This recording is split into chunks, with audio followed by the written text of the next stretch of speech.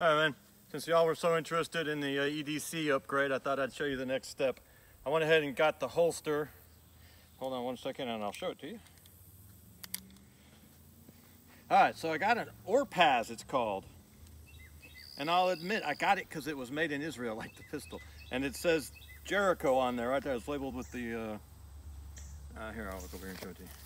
It's labeled with the, uh, I'm just that silly. All my tools tend to match too. But what I really liked about it was I want a retention holster because I will be honest with you, and, and I don't think all gun channels are. Twice I've had a pistol fall out of my holster. Actually, three times I've had a pistol fall out of my holster. Uh, once was that home. No, I've never had one fall out of the homemade uh, holster, but uh, uh I've carried Mariah's little Ruger sometimes in a non-retention holster. And once I was running across a parking lot because I'm a child and I was excited, and it bounced out. And another time it got caught underneath a, uh, a railing and I walked away and it pulled out. Uh, so I won't have non-retention holsters anymore going forward. Those were two very humili humiliating episodes. So I wanted a retention holster, but I didn't want one with the thumb, uh, the, th the pointer finger release. Because I watched a, video years ago about this guy and he was very honest too. And, and he was showing, he shot himself in the leg practicing his, his he was doing quick draws. Uh, in 1911, and he had it, you know, locked and cocked, and uh, and he he went to grab it, and he grabbed it, and he he pushed down on his release button on his retention holster. And then as he pulled up, his finger just went into the trigger guard, but he was tensed up, and it was it was a very fluid motion. And, and his finger went into the trigger guard and he shot himself in the thigh. He, and he was an experienced shooter. He was, he was honest about it, and I admire him for, for being honest. So I wanted a thumb release. Uh, I, I like the ones where you push the release in as you pull up. I'm not as big a fan of this one where you, this thing is empty. You, right, you're pulling the pistol up on this one and pushing down at the same time. And so your motions are working against each other. Uh, but it seems to work well.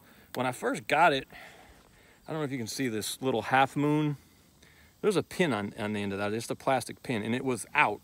It was just in the bag, and I could not get the thing adjusted. You know, there's an adjuster screw right here to see how, uh, you know, how tight you, how much retention you want. And no matter what I did, it, it wouldn't release with the thumb thing down, and then it would just pull out with the thumb thing up with the release button. And I finally figured out what that, that, that thing had just, that this little half moon thing had just fallen out. I slid it back in and, and then it was easy to get it adjusted so that it it won't pull out, but it comes out pretty easy. I might still play with it some too. Uh, I'm not gonna, I, I, I just now, this is the first time I'm really doing any shoot. I just did like three or four shots before we did this just to play with it. Uh, I don't have a belt on, so I'm not gonna really try to, to hoss around with it. But I just wanted to show you what it, it's gonna look like and we'll do a couple shots. I'm not done yet. You could get this one with a magazine holder on the front of it it's just bigger and bulkier than it is over here and that's a unnatural motion. So I've still got to get a magazine holder and I might just go with the, if the Orpaz has a standalone, I'll, I might do that. But uh, I have not made up my, my final mind about that.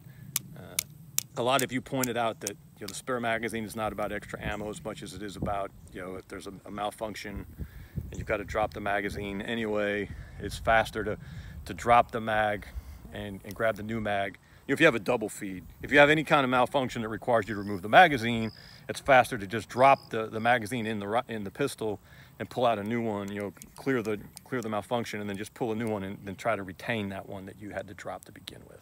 Uh, I, that that is that's not an inconsiderable not an inconsiderable consideration. man, I drive myself crazy sometimes.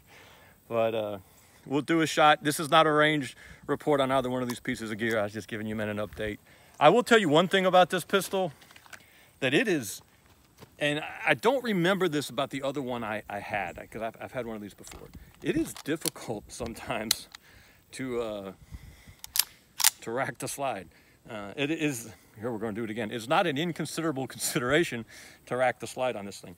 Uh, I intend to carry it hammer, I want to do the hammer on half cock, safety on. I know a lot of you don't like safeties on carry guns. I'm sorry. You know, I think it's a good idea. Uh, It's just one little step to keep things from getting weird. Uh, and and I, I think that's a, a training issue that if you always practice with it safety on, then you, you will, you know, you'll be able to compensate for it. We'll do a shot real quick. I haven't even really, I, I meant to zero this thing. I have, we haven't even really zeroed it yet, so nobody judge me. Gun daddy, don't judge me. Got your earplugs in? Mm-hmm. All right, see, safety's on, we're on the half cock. Let's see how this does.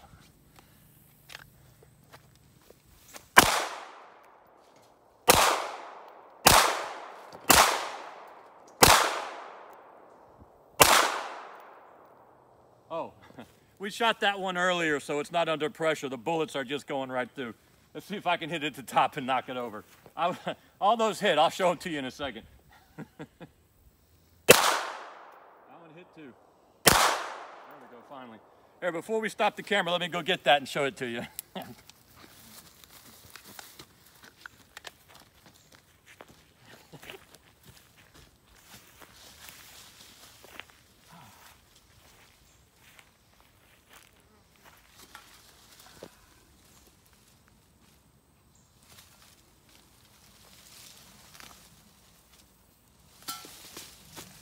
All right, well, I can't find that one though. But I could see the holes in it when I was shooting. It just wasn't knocking it over because I'd already depressurized it. The bullets were just, those full metal jackets were just shooting right through it.